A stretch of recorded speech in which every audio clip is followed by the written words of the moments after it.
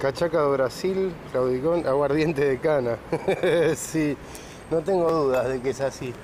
Pero igual, de todos modos, pese a eso, aparece Nachito Viale acá y opera en el San José la mano de obra de Gabrielito Campo y de otros personajes, como el que vivía ahí en Agüero, en el cuarto piso, en el mismo edificio que yo. Así que olvídate la payasada con cartoneros de seguir tirando esa mano de obra con distribución de audio porque no vas a alterar un carajo de lo que estoy señalando. Así ganó Macri.